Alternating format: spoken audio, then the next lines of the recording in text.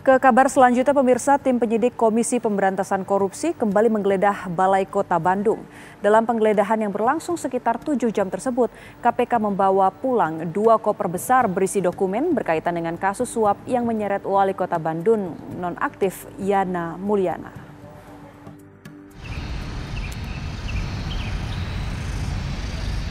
Tim penyidik Komisi Pemberantasan Korupsi kembali menggeledah Balai Kota Bandung berkaitan dengan kasus suap yang menjerat Wali Kota Bandung nonaktif Yana Mulyana. Penggeledahan dilakukan di kantor Dinas Komunikasi dan Informatika Diskominfo yang masih berada di sekitar areal Balai Kota.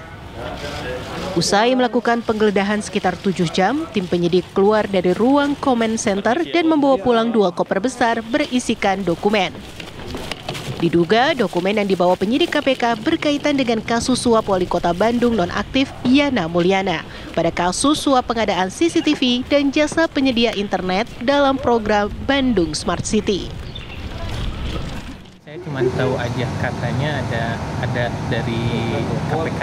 Hmm, berapa lama pemeriksaan penggeledahan? Nah, kalau yang saya tahu itu lihat dari sehabis Jumatan sampai sampai sore sampai asar gitu. Berapa orang satu?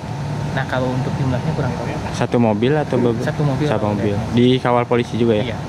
Hmm, Tapi sejauh ini tidak ada yang disegel atau apa? Enggak sih. Ada ya? Hanya penggeledahan aja. Mungkin kurang tahu. Pasca penggeledahan pintu masuk command center dan Diskominfo terpantau tidak ada penyegelan. Dari Bandung, Jawa Barat, Cepi Kurnia, TV One mengabarkan.